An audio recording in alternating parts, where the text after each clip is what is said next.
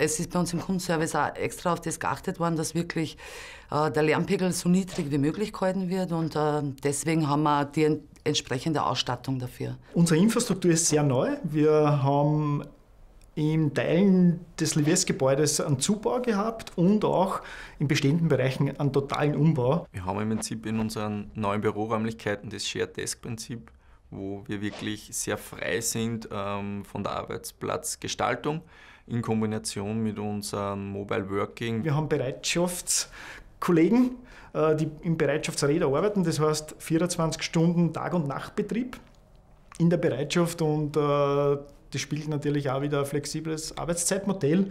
Und wir haben im ganzen Team ein, im Team ein Gleitzeitmodell. Ich bin eine Teilzeitkraft, die was wirklich ein Familienleben auch hat. Ich habe zwei Kinder und dadurch, dass die Liebest mir die Möglichkeit gegeben hat, dass ich das flexibel einteilen kann, kann ich das auch alles unter den Hut bringen. Es gibt ein Mitarbeiterprodukt, das man gratis nutzen kann.